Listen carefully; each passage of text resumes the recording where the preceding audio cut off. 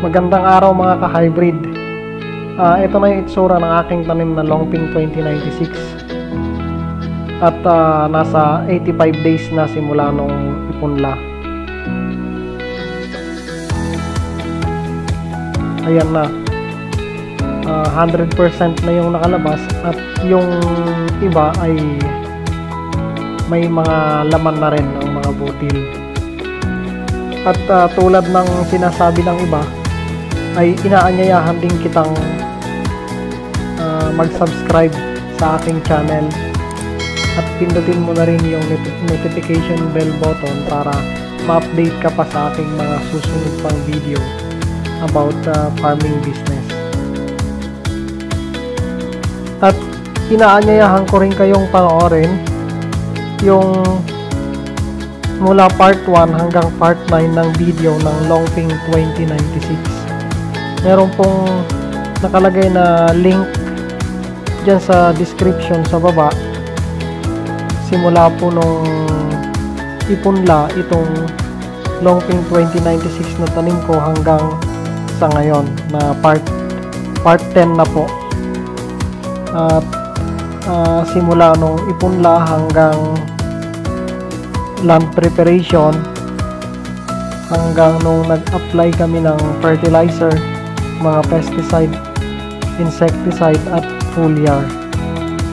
Ah, andyan po sa description. Pakiclick na lang po kung gusto nyo panoorin yung mga iba pang part ng video ko na Longping 2096 para naman magsilbing guide o tulong sa inyo sa inyong ah, pagsasaka o pagtatanim ng palay. At ah, mabalik tayo sa aking tanim na longping at ah, yun nga nasa 85 days na simula nung ipunla. Ayan na makikita yung mga ah, bunga niya na nagkakalaman na at mahahaba po yung uhay niya.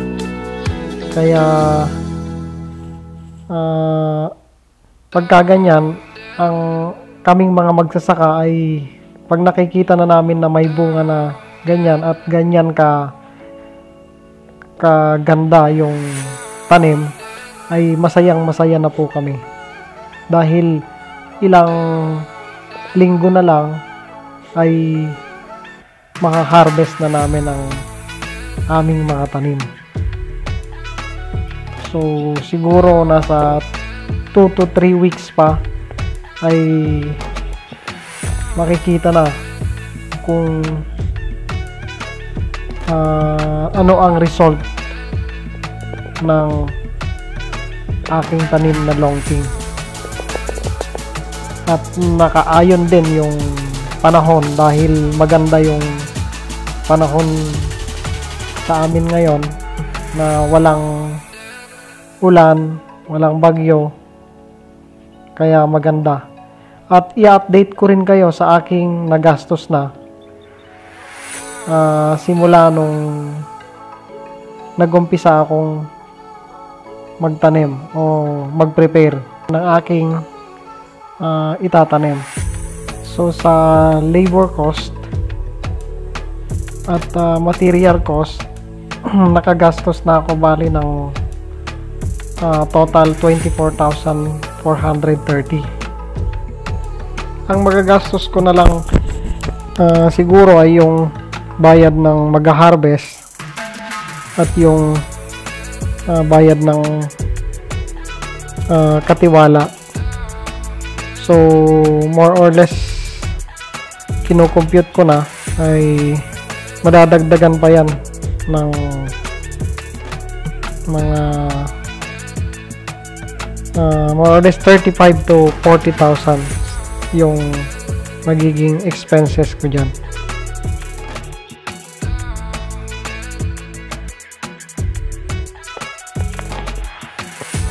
At update din sa presyo ng palay ngayon dito sa aming lugar ay nasa 18 pesos pa rin ang per kilo ng ng sariwa. So maganda pa rin 'yon. Ah, kumpara noong main crop o wet season na nasa 12 pesos lang per kilo. So, advantage ka talaga pag ah, magsasaka ka ng second crop kasi nasa iyo yung pabor lahat. Walang kalaban na bagyo at pati yung presyo ng palay pag nag-ani ay mas mataas din. At sana lang mag ma-maintain yung 18 pesos na sariwa or mas maganda ah, tumaas pa yung presyo ng palay para mas pabor sa kagaya naming magsasaka mga ka-hybrid. At ah, yun lang ang aking update sa aking tanim na Longping 2096 sa ngayon. Nasa 85 days na at patuloy ko kayong i-update pa sa mga susunod ko pang video kung ah, ilan yung aking ma-harvest dito sa aking tanim. Maraming salamat.